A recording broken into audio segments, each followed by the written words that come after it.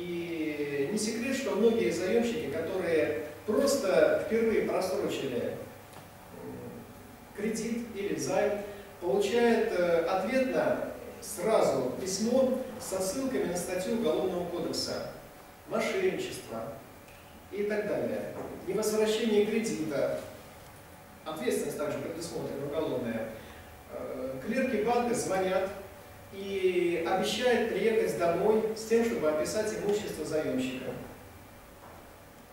Они звонят и говорят, никто из вас не получит больше кредит, ваши родственники не получат кредит, ваши дети не получат кредит и так далее. Хотя речь даже не идет о поручительстве. Дети это самостоятельные люди, они старше 18 лет, у них свой бюджет, своя семья. И тем не менее, вот такие чрезмерные угрозы, которые граничат самоуправством, потому что, извините, банк не может собой подменить суд и службу судебных приставов. Для того, чтобы доказать, что заемщик что-то должен, требуется получить э, исполнительный документ, решение суда или судебный приказ, и затем предъявить его к взысканию. И говорить в этой ситуации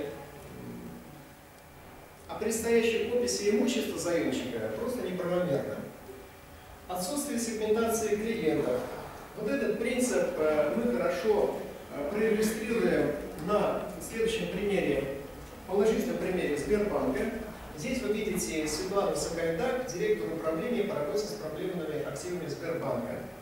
Э, она возглавила это подразделение совсем недавно, примерно два с половиной года назад, и пришла как раз в ситуацию, которая была очень-очень далека от идеальной. Вот благодаря ее усилиям, а также команды, команде молодых менеджеров, которую сменил Герман Греф, новый руководитель Сбербанка, э, были применены грамотные вопросы по, вопросу, по вопросам эффективного управления долгами. Смотрите, здесь э, приведена книга «Жалоба как подарок от клиента». Ее автор Бэй Роуз, один из авторов, Бэй Роуз. Это вот э, из числа книг, которые мы рекомендуем по результатам просмотра нашего вебинара. Дело в том, что в этой книге изложены очень простые принципы, которые направлены на формирование э, хороших отношений с клиентами. И вот эти принципы стали настольной книгой Германа Оскаровича Грефа. Э, он стал их проповедовать внутри Сбербанка. И вот конкретно Светлана Сагайдак э, предложила сегментировать просроченную задолженность, условно говоря, по трем цветам. 30-90 дней. До 30 дней это желтый цвет. Знак, э, сейчас может произойти что-то неблагоприятное. Красный цвет – это уровень просрочки задолженности от 30 до 90 дней. И, наконец, черный цвет вместо зеленого свыше 90 дней. И вот, э, как показала практика, наиболее эффективные досудебные процедуры убеждения заемщика на стадии до 30 дней, когда загорается лампочка желтый цвет. Вот здесь можно убеждать заемщика, можно э, объяснить ему преимущество формирования хорошей кредитной истории, что выигрывает заемщик, заемщик от того, что возвращает кредит в срок или займ. Свыше 90 дней – это уже безнадежная задолженность в ряде случаев. И здесь э, усилия часто не оправдывают результата.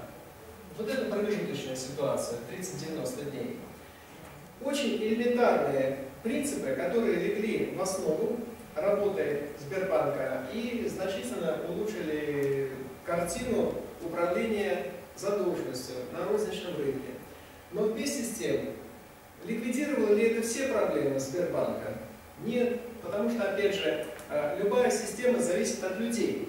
И вот, пожалуйста, вырезка из газеты «Коммерсант» номер 142 от 3 августа 2012 года. Она как раз э, касается недобросовестных сотрудников Сбербанка, Сбербанка, которые предложили продать долг заемщику, одним словом, вместо 700 миллионов рублей э, решить вопрос за 100 миллионов рублей многократно уменьшить его задолженность, конечно, с выгодой для себя.